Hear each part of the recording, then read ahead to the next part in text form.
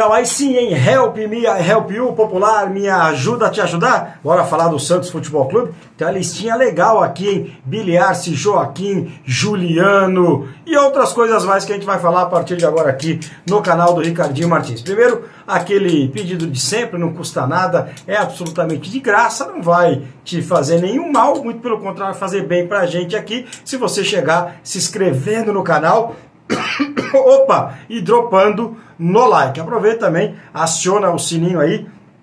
Quase 50 mil inscritos, chegamos a 48, faltam 2 mil para 50 mil. Chegando lá, a gente vai sortear cinco camisas oficiais do Santos Futebol Clube. Então é rápido, fácil, dropa no like, se inscreve no canal, aciona o sininho. Quer fazer parte do clube de membros do canal do Ricardinho Martins? Vai ser um prazer ter você com a gente lá. Planos a partir de R$ 4,99. E ó, tá aqui ó. Você quer fazer parte do nosso canal? Você quer ser parceiro do canal do Ricardinho Martins? Rodrigues, coloca aqui, ó. Só você entrar em contato com a gente. A gente tem recebido aí muitas mensagens, a galera querendo fazer é, parte do canal do Ricardinho Martins, dessa parceria. E a gente tem conversado aí. Em breve teremos muitas novidades. Você pode fazer parte dessa novidade também. Seja parceiro do canal do Ricardinho Martins, como é, por exemplo, a Balba Mecânica, Funilaria e Pintura, lá do meu amigo Carlão. Só você entrar em contato com ele. Qualquer problema no seu carro, leva na Balba, trabalha com todas as seguradoras, todos os cartões de crédito. A Baobá está sempre conosco aqui nos vídeos do canal do Ricardinho Martins. Na jornada tem a Lopes Conceito, tem conosco também a Esportiva.bet. Conosco também está a Adega do Rafa. Então, você pode fazer parte desses parceiros do canal do Ricardinho. Mais uma vez, o nosso Halle Rodrigues está colocando aqui. Bom, vamos falar do Santos? Juliano pode ser a grande novidade do time para o jogo de segunda-feira contra o Coritiba, que aliás vem num momento horroroso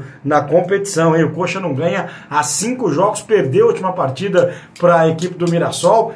Crise lá no Coritiba. E ó, o Santos tem que aproveitar, vencer e vencer pode muito bem, não. Tem que vencer na Vila o Curitiba, continuar na liderança aí do Campeonato Brasileiro da Série B. Uma grande oportunidade, a gente vai ter um público muito bom na Vila Belmiro na próxima segunda-feira para o Santos conquistar mais uma vitória. O Juliano deve ficar com opção no banco, tá? Ficou muito tempo fora aí, não acredito que o Carilli vá começar o jogo com o Juliano. A tendência é ele manter o Serginho por ali. Nas demais posições, vamos ver o que o Carilli faz no treinamento de amanhã, domingo no CT Repelé, onde ele define o time para pegar o Coritiba. Santos veio de empate, 1 a 1 contra o Vila Nova, e eu já disse aqui algumas vezes, né? Eu estou muito preocupado com a postura do técnico Fábio Carilli. A impressão que eu tenho é que o Fábio Carilli está triste. A impressão que dá é que ele não está feliz no Santos Futebol Clube. Eu acho que isso é um problema. Vamos ver como é que vai ser o comportamento do Carilli na segunda-feira. Então, Juliano pode ser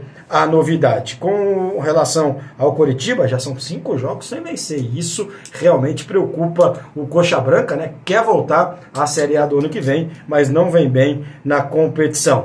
Olha, ufa, o homem está desde quinta-feira no Brasil, está no hotel lá no Gonzaga, já era para ter feito exames médicos e nada houve um problema aí do Santos com o empresário do Biliar, você também pode ficar se achando que é o melhor jogador do mundo. O que estava acordado tem que acontecer. Então hoje, Santos e staff do Biliar chegaram a um acordo. Amanhã ele faz exames médicos no CT Repelé e se for aprovado nos exames, será jogador do Santos. Vamos com calma, hein? Não adianta chegar aqui achando que é o melhor jogador do mundo. Calma, calma. Então tá chegando aí o Biliarce, jogador que pode atuar dos lados do campo. Pode fazer até o falso 9, um pedido do técnico Fábio Carilli.